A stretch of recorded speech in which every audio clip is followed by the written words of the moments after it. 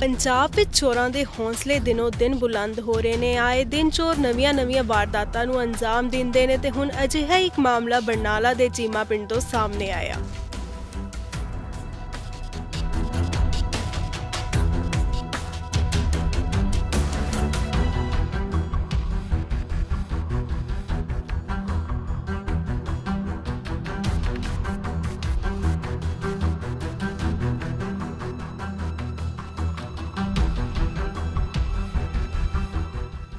ਇਹ CCTV footage ਸਾਫ਼ ਦਿਖਾਈ ਦੇ ਰਿਹਾ ਕਿ ਚੋਰ ਕਿਸ ਤਰ੍ਹਾਂ ਕੰਧ ਟੱਪ ਰਹੇ ਨੇ ਤੇ ਚੋਰੀ ਨੂੰ ਅੰਜਾਮ ਦੇਣਾ ਚਾਹੁੰਦੇ ਨੇ। ਇਹਨਾਂ ਤਸਵੀਰਾਂ ਵਿੱਚ ਦੋ ਚੋਰ ਦਿਖਾਈ ਦੇ ਰਹੇ ਨੇ। ਚੋਰਾਂ ਨੇ ਭਾਰਤੀ ਸਟੇਟ ਬੈਂਕ ਦੀ ਬ੍ਰਾਂਚ ਵਿੱਚ ਸਨ ਲਗਾ ਕੇ ਚੋਰੀ ਕਰਨ ਦੀ ਕੋਸ਼ਿਸ਼ ਕੀਤੀ। ਪਰ ਸਕੂਲ ਦੇ ਚੌਂਕੀਦਾਰ ਦੀ ਸਮਝਦਾਰੀ ਕਾਰਨ ਚੋਰ ਆਪਣੇ ਕੰਮ ਵਿੱਚ ਅਸਫਲ ਰਹੇ। ਇਹ ਸਾਰੀ ਘਟਨਾ ਸੀਸੀਟੀਵੀ ਕੈਮਰੇ ਵਿੱਚ ਕੈਦ ਹੈ।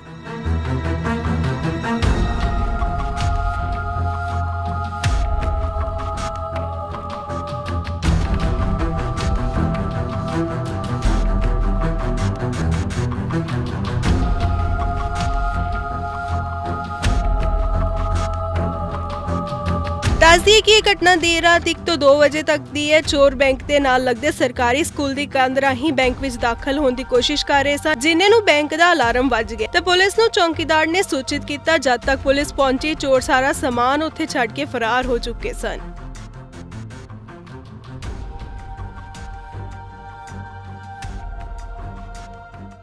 ਸਰਜੀਤ ਸਿੰਘ ਜੀ ਕੀ ਕਿੰਨੇ ਵਜੇ ਦੀ ਘਟਨਾ ਗਈ ਤੇ ਕਿਵੇਂ ਪਤਾ ਲੱਗਿਆ ਤੁਸੀਂ? ਸਾਢੇ ਬਾਰ ਸਾਢੇ ਬਾਰਾਂ ਦੇ ਕਰੀਬ ਹੋ ਰਾਤ ਦੀ। ਹਾਂਜੀ। ਉਸ ਤੋਂ ਬਾਅਦ ਤੁਹਾਨੂੰ ਕਿਵੇਂ ਉਸ ਪਤਾ ਤੋਂ ਬਾਅਦ ਹੂਟਰ ਵੱਜਿਆ ਜੀ। ਹੂਟਰ ਵੱਜੇ ਤੋਂ ਬਾਅਦ ਮੈਂ ਪੁਲਿਸ ਵਾਲਿਆਂ ਨੂੰ ਫੋਨ ਕਰਤਾ। ਪੁਲਿਸ ਵਾਲੇ 10 ਮਿੰਟ ਬਾਅਦ ਆ ਗਏ ਇੱਥੇ ਕਿੰਨੇ ਅਹ ਕਿੰਨੇ ਕ ਬੰਦੇ ਸੀਗੇ ਜਾਂ ਇਹ ਨਹੀਂ ਪਤਾ ਕਿੰਨੇ ਸੀਗੇ। ਤੁਸੀਂ ਕਿੱਥੇ ਡਿਊਟੀ ਕਰਦੇ ਹੋ? ਅਸੀਂ ਤਾਂ ਸਕੂਲ 'ਚ ਕਰਦੇ ਹਾਂ ਚੌਂਕੀ ਜਾ ਕੇ। ਮੌਕੇ ਤੇ ਪਹੁੰਚੇ ਪੁਲਿਸ ਥਾਣੇ ਦੇ ਮੁਖੀ ਨੇ ਦੱਸਿਆ ਕਿ ਰਾਤੀ ਪੁਲਿਸ ਪਾਰਟੀ ਜਦ ਗਸ਼ਤ ਕਰ ਰਹੀ ਸੀ ਤੇ ਚੌਕੀਦਾਰ ਦਾ ਫੋਨ ਆਇਆ। ਉਹਨਾਂ ਨੇ ਇੱਥੇ ਆ ਕੇ ਦੇਖਿਆ ਤਾਂ ਕੁਝ ਨਹੀਂ ਮਿਲਿਆ। ਉਹਨਾਂ ਨੇ ਬੈਂਕ ਮੈਨੇਜਰ ਦੇ ਬਿਆਨਾਂ ਦੇ ਆਧਾਰ ਤੇ ਮਾਮਲਾ ਦਰਜ ਕਰ ਲਿਆ ਹੈ। ਇਹ ਜਿਹੜੀ ਰਾਤ ਘਟਨਾ ਵਾਪਰੀ ਹੈ ਇਹ ਕਿੰਨੇ ਕ ਵਜੇ ਦੀ ਘਟਨਾ ਜੀ? ਤੇ ਇਹਦੇ ਵਿੱਚ ਅਹ, ਕੀ ਕੀ ਸਾਹਮਣੇ ਆਇਆ ਜੀ? ਘਟਨਾ ਇਹ ਰਾਤ ਕਰੀਬ 1 ਵਜੇ ਸਾਡੀ ਜਿਹੜੀ ਹੈਗੀ ਆ ਪੁਲਿਸ ਪਾਰਟੀ ਗਸ਼ਤ ਕਰ ਰਹੀ ਸੀ ਇਲਾਕੇ 'ਚ ਜਿਨ੍ਹਾਂ ਨੂੰ ਹੈਗਾ ਜਿਹੜਾ ਇੱਥੇ SBI ਬ੍ਰਾਂਚ ਚੀਮਾ ਦੇ ਬੈਕ ਸਾਈਡ ਤੇ ਸਕੂਲ ਹੈ ਉਹਦਾ ਚੌਕੀਦਾਰ ਦਾ ਫੋਨ ਗਿਆ ਵੀ ਬ੍ਰਾਂਚ ਦਾ ਜਿਹੜਾ ਅਲਾਰਮ ਵੱਜ ਰਿਹਾ ਹੈ। ਤਾਂ ਪੁਲਿਸ ਤੁਰੰਤ ਜਿਹੜੀ ਇੱਥੇ ਬ੍ਰਾਂਚ ਪਹੁੰਚੀ, ਆਲੇ ਦੁਆਲੇ ਚੈੱਕ ਕੀਤਾ। ਆਲੇ ਦੁਆਲੇ ਚੈੱਕ ਕਰਨ ਤੇ ਕੁਛ ਕੋਈ ਸਾਹਮਣੇ ਨਹੀਂ ਆਈ ਗੱਲ, ਤਾਂ ਦੁਬਾਰੇ ਜਦੋਂ ਸਕੂਲ ਦਾ ਜਿਹੜਾ ਹੈਗਾ ਇੱਕ ਕਲਾਸਰੂਮ ਖੋਲ ਕੇ ਚੈੱਕ ਕੀਤਾ ਤਾਂ ਉੱਥੋਂ ਦੀ ਬੈਂਕ ਦੇ ਅੰਦਰ ਪਾੜ ਲੱਗਿਆ ਹੋਇਆ ਸੀਗਾ।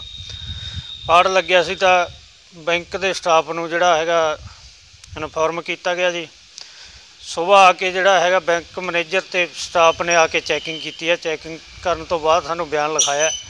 ਕਿ ਜਿਹੜਾ ਦੋ ਬੰਦੇ ਬੈਂਕ ਦੇ ਅੰਦਰ ਰਾਤ ਨੂੰ ਕੰਧ ਤੋੜ ਕੇ ਦਾਖਲ ਹੋਏ ਨੇ ਉਹਨਾਂ ਨੇ ਜਿਹੜੀ ਹੈਗੀ ਆ ਚੋਰੀ ਕਰਨ ਦੀ ਕੋਸ਼ਿਸ਼ ਕੀਤੀ ਹੈ ਪਰੰਤੂ ਕੋਈ ਚੋਰੀ ਨਹੀਂ ਹੋਇਆ ਕੋਈ ਭੰਨ ਤੋੜ ਕਰਕੇ ਪੁਲਿਸ ਪਾਰਟੀ ਦੇ ਆਉਣ ਤੇ ਅਲਾਰਮ ਵਗੈਰਾ ਸੁਣ ਕੇ ਸਾਇਰਨ ਗੱਡੀ ਦੇ ਸੁਣ ਕੇ ਤੇ ਉਹ ਮੌਕੇ ਤੋਂ ਫਰਾਰ ਹੋ ਗਏ। 'ਚ ਸਰ ਕਿੰਨੇ ਵਿਅਕਤੀ ਸੀ ਤੇ ਕੀ ਕਾਰਵਾਈ ਕੀਤੀ ਜਾ ਰਹੀ ਹੈ? ਇਹ ਜਿਹੜੀ ਸੀਸੀਟੀਵੀ ਫੁਟੇਜ ਚੈੱਕ ਕੀਤੀ ਗਈ ਹੈ ਉਹਦੇ ਮੁਤਾਬਕ ਜਿਹੜਾ ਹੈਗਾ ਦੋ ਵਿਅਕਤੀ ਜਿਨ੍ਹਾਂ ਦੇ ਮੂੰਹ ਬੰਨੇ ਹੋਏ ਸੀ ਤੇ ਉੱਤੇ ਲੋਈਆਂ ਲਈਆਂ ਸੀ ਬ੍ਰਾਂਚ ਦੇ ਅੰਦਰ ਦਾਖਲ ਹੋਏ ਨੇ। ਤੇ ਹੁਣ ਬੈਂਕ ਮੈਨੇਜਰ ਸਾਹਿਬ ਦਾ ਬਿਆਨ ਲਿਖ ਕੇ ਮੁਕੱਦਮਾ ਦਰਜ ਕਰਕੇ ਅਗਲੀ ਕਾਰਵਾਈ ਅਮਲ ਵਿੱਚ ਲਿਆਂਦੀ ਜਾ ਰਹੀ ਹੈ। ਇੱਥੇ ਕੋਈ ਉਹਨਾਂ ਦਾ ਕੋਈ ਸਮਾਨ ਵਗੈਰਾ ਵੀ ਛੱਡ ਕੇ ਗਏ ਜਾਂ ਮਿਲਿਆ ਜੀ ਸਮਾਨ ਉਹਨਾਂ ਦਾ ਜਿਹੜਾ ਜਿਹੜੀ ਚੀਜ਼ ਨਾਲ ਉਹਨਾਂ ਨੇ ਸੱਬਲ ਤੇ ਹਥੌੜੇ ਨਾਲ ਕੰਧ ਤੋੜੀ ਹੈ ਉਹ ਉਹਨਾਂ ਦਾ ਮੌਕੇ ਤੇ ਰਹਿ ਗਿਆ। ਮੌਕੇ ਤੇ ਛੱਡ ਕੇ ਭੱਜ ਗਏ। ਪੁਲਿਸ ਪਾਰਟੀ ਪਹੁੰਚਣ ਤੇ ਪਤਾ ਲੱਗਣ ਕਾਰਨ ਜਿਹੜਾ ਹੈਗਾ ਮੌਕੇ ਤੋਂ ਛੱਡ ਕੇ ਭੱਜ ਗਏ। ਕੋਈ ਚੋਰੀ ਵਗੈਰਾ ਤਾਂ ਨਹੀਂ ਹਜੇ? ਨਹੀਂ ਚੋਰੀ ਵਗੈਰਾ ਕੋਈ ਸਾਹਮਣੇ ਨਹੀਂ ਆਈ ਨਾ ਹੀ ਮੈਨੇਜਰ ਸਾਹਿਬ ਨੇ ਕੋਈ ਚੋਰੀ ਹੋਣ ਬਾਰੇ ਲਿਖਾਇਆ। ਹੈ। ਦੇਖਿਆ ਜਾਏ ਤਾਂ ਇਸ ਤਰ੍ਹਾਂ ਦੀ ਚੋਰੀ ਦਾ ਮਾਮਲਾ ਪੁਲਿਸ ਦੀ ਗਸ਼ਤ ਤੇ ਵੀ ਸਵਾਲ ਖੜਾ ਕਰਦਾ ਹੈ। ਗੌਰਤਲਬ ਹੈ ਕਿ ਸਰਦੀਆਂ ਵਿੱਚ ਚੋਰ ਧੁੰਦ ਦਾ ਫਾਇਦਾ ਉਠਾ ਕੇ ਚੋਰੀਆਂ ਕਰਦੇ ਨੇ ਤੇ ਅਜਿਹੇ ਵਿੱਚ ਪੁਲਿਸ ਨੂੰ ਆਪਣੀ ਗਸ਼ਤ ਨੂੰ ਪਿੰਡਾਂ ਸ਼ਹਿਰਾਂ ਵਿੱਚ ਹੋਰ ਜ਼ਿਆਦਾ ਵਧਾਉਣ ਦੀ ਲੋੜ ਹੈ। ਬਰਨਾਲਾ ਤੋਂ ਧਰਮਿੰਦਰ ਸਿੰਘ ਢਾਲੀਵਾਲ ਦੀ ਰਿਪੋਰਟ ਡੇਲੀ ਪੋਸਟ ਪੰਜਾਬੀ।